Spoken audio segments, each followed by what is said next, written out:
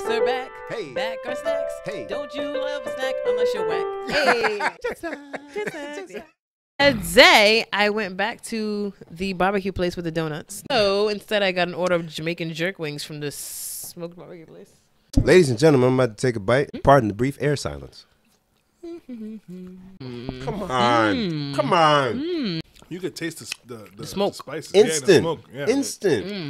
Instant. These aren't them skimpy ass wings where you only get like a couple of bites out of it. You But they're really- also not those scary, like super overgrown size wings. Exactly. Get in there, Darren. I see you working that bone, beloved. Pause. Pause. How many wings? At left? this back bar. Oh, this, this enough. Because I'm, I'm, No!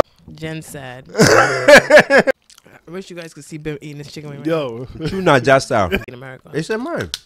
I had get in that bone. I heard the crack Yeah, down. heard that. So shout out to um, shout out to Pink Pig Barbecue. Excellent snack, Gen. This is you went above and beyond. Again.